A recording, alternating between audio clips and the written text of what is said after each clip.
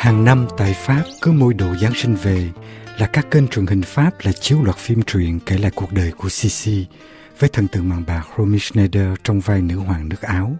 Bộ phim Sisi chẳng có liên quan gì tới Noel, nhưng vì từ vài thập niên qua, phim cứ được chiếu đi chiếu lại vào cuối tháng 12, cho nên mỗi khi hình ảnh của nữ hoàng nước Áo xuất hiện trên màn ảnh nhỏ, người Pháp vẫn biết là mùa Giáng sinh đã về với mọi nhà.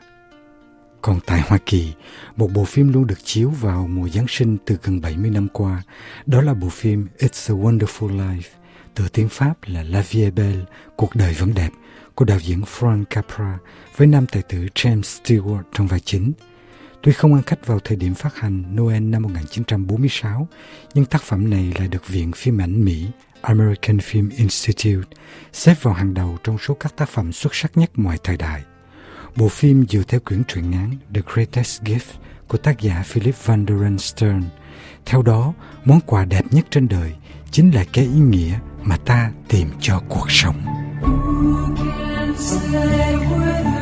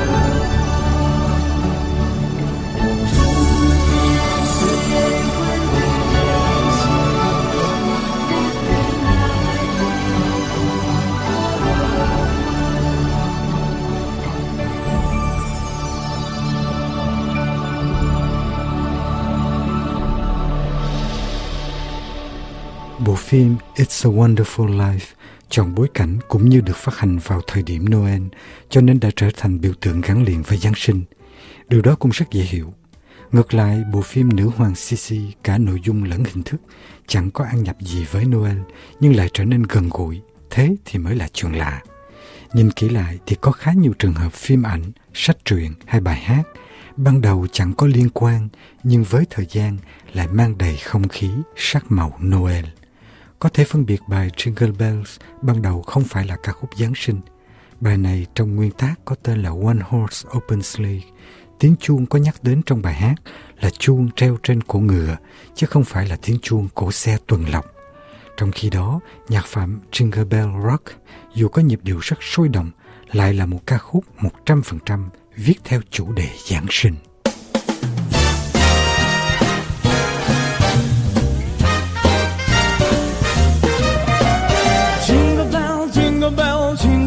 Rock, jingle bells ring and jingle bells ring, snowing and blowing up bushels of fun.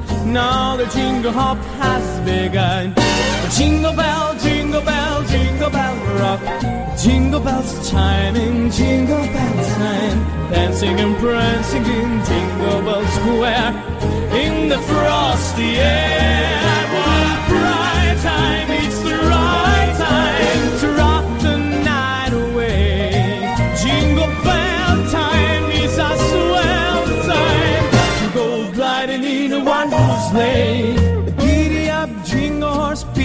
Your feet, jingle around the clock. Mix and mingle in the jingling beat. That's the jingle bell rock.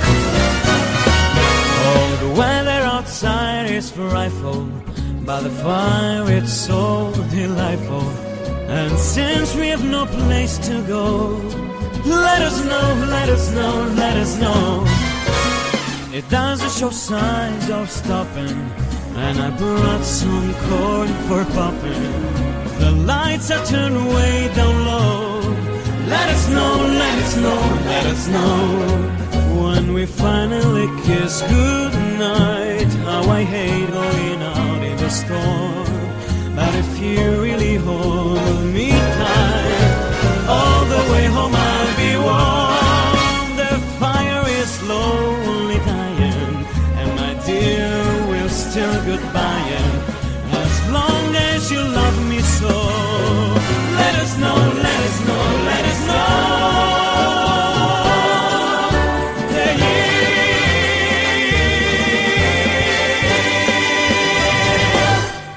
Một trong những trường hợp tiêu biểu của bài hát ngẫu nhiên trở thành ca khúc Noel là nhạc phẩm Only You mà Kylie Minogue phát hành trên tập nhạc Christmas của cô.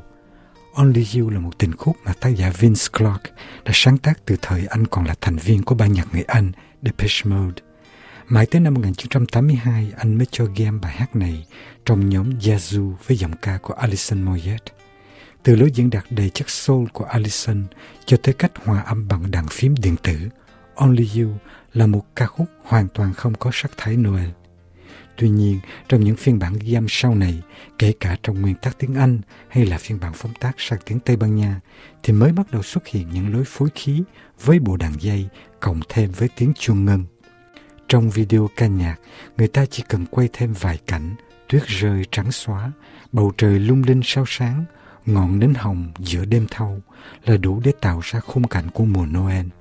Rất nhiều bài hát ban đầu không có màu sắc Giáng sinh, thế nhưng khi được phát hành vào dịp lễ cuối năm, thường tranh thủ thời cơ để dễ bán hàng, để dễ câu khách hơn. Trường hợp của một số bản nhạc của nhóm X17 hay là của Melanie Thornton, nhất là khi các bài hát này được các hãng nước ngọt chọn làm nhạc hiệu quảng cáo. Trong trường hợp của nhạc phẩm Only You của Kylie, thì diva người Úc đã cùng với James Corden biến bài hát này thành một ca khúc đậm màu Noel.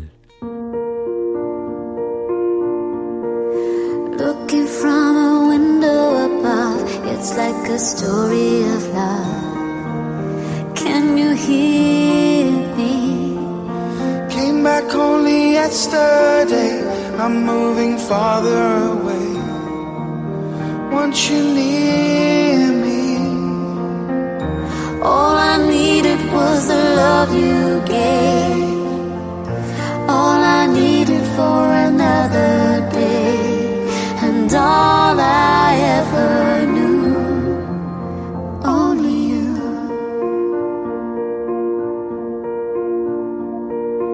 Sometimes when I think of your name, and it's only a game, and I need.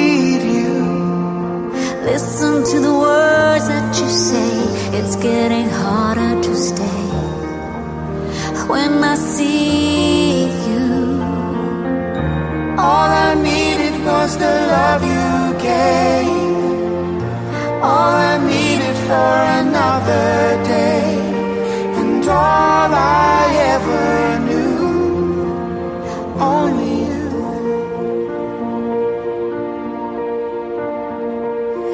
this is gonna take a long time, and I wonder what's mine. Can't take no more. Wonder if you'll understand. It's just the touch of your hand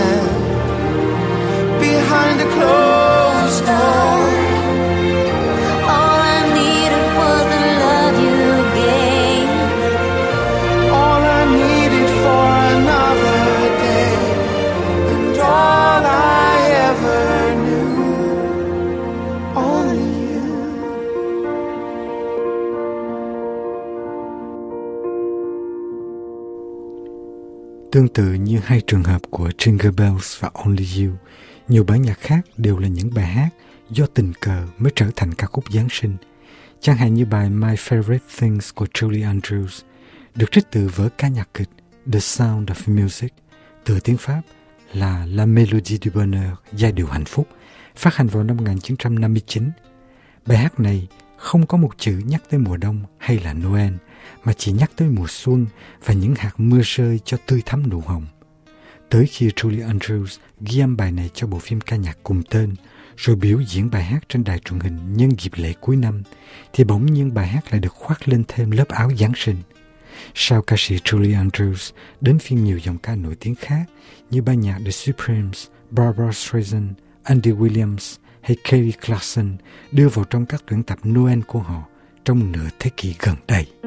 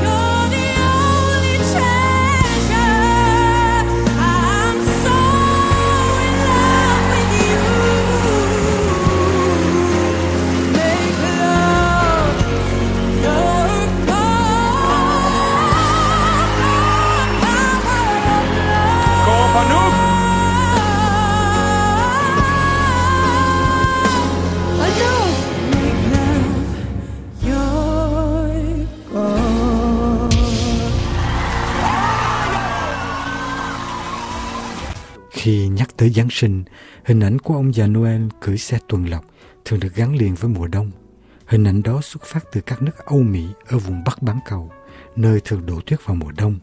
Nhưng khi lan truyền sang các nước khác ở miền Nam bán cầu hoặc là tại các xứ nóng, các hải đảo miền nhiệt đới, thì ông già Noel vẫn mặc cùng một bộ trang phục màu đỏ, bộ râu trắng xóa, đội mũ lên dù trời có nóng cách mấy. Có lẽ cũng vì thế mà nhiều người cứ tưởng lầm rằng các ca khúc như Let It Snow hay là Winter Wonderland đều là ca khúc Noel, nhưng thật ra đều không phải vậy. Bài Winter Wonderland, Mùa Đông Diệu Kỳ, được tác giả Dick Smith viết vào năm 1934, trong lúc ông đang lâm bệnh nặng. Bài hát này không hề nhắc tới Noel, mà chỉ gợi lại thời thơ ấu của chính tác giả. Và chính những kỷ niệm tuổi thơ ấy mới tạo ra được ngọn lửa sưởi ấm một người đàn ông bào bệnh ở lứa tuổi về già. Bài hát này lần đầu tiên do ban nhạc hòa tấu The Richard Himber Orchestra trình diễn và sau đó là tới phiên ca sĩ Guy Lombardo ghi âm. Do cả hai phiên bản được phát hành vào mùa Giáng sinh, cho nên bài hát đã được quảng cáo như là một ca khúc Noel. Trường hợp của nhạc phẩm Let It Snow lại càng tiêu biểu hơn nữa. Hai tác giả người Mỹ Sammy Kahn và Julie Stein sáng tác bài này vào mùa hè năm 1945, tức cách đây đúng 70 năm. Mùa hè năm ấy, trời California nóng kinh khủng. Cơn nóng bất thường buộc người dân thành phố Los Angeles phải tiết kiệm nước sinh hoạt, không được tưới cây trong vườn hay rửa xe ngoài đường như thường lệ. Ngay giữa nắng hè oi bức, hai tác giả người Mỹ mới ước gì trời mưa thật nhiều cho mát. Họ mơ về những chuyến đi chơi xa tới các vùng núi phủ đầy bằng tuyết.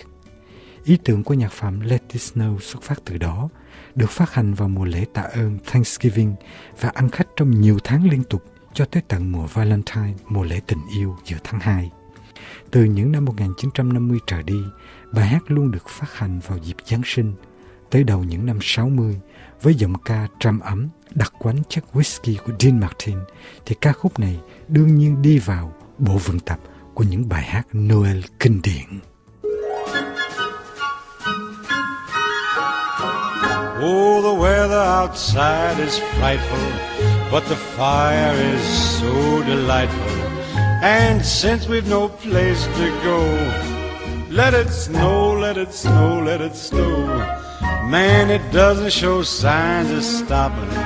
And I brought me some corn for popping. The lights are turned way down low. Let it snow, let it snow. When we finally kiss goodnight, how I'll hate going out in the storm. But if you really grab me tight, all the way home I'll be warm. Oh, the fire is slowly dying, and my dear, we're still goodbying. But as long as you love me so, let it snow, let it snow, let it snow. Vào giữa những năm 1980, ban nhạc pop người Anh Frankie Goes to Hollywood ghi âm nhạc phẩm The Power of Love mà ban đầu không phải là một ca khúc Giáng sinh, nhưng do phát hành vào dịp lễ cuối năm cho nên video clip minh họa bài hát mới quay cảnh ba vị vua đi theo vầng sao sáng đến tận hang Belem. Chính sự thành công của bài hát này mới thúc đẩy nam ca sĩ George Michael của ban nhạc Wham viết bài Last Christmas, chọn Noel làm bối cảnh để nói về một chuyện tình buồn. Làng nhạc pop Anh Mỹ đã có nhiều nỗ lực sáng tác ca khúc Giáng sinh mới, nhưng ít có bài hát phổ thông nào ăn khách bằng ba ca khúc The Power of Love của nhóm Frankie Goes to Hollywood, Last Christmas của Wham và nhất là nhạc phẩm All I Want for Christmas Is You của diva người Mỹ Mariah Carey. Nỗ lực này cũng có thể được thấy trên tập nhạc Christmas gần đây của Kylie Minogue. Thường thì ca khúc Noel cần có nhịp điệu tươi tắn yêu đời. Kylie lại đưa nhạc Giáng sinh ra sàn nhảy kích động. Cây thông gắn đầy dây kim tuyến thuở nào, nhường chỗ lại cho quả cầu bạc, tỏa sáng lung linh, muôn ánh đèn màu.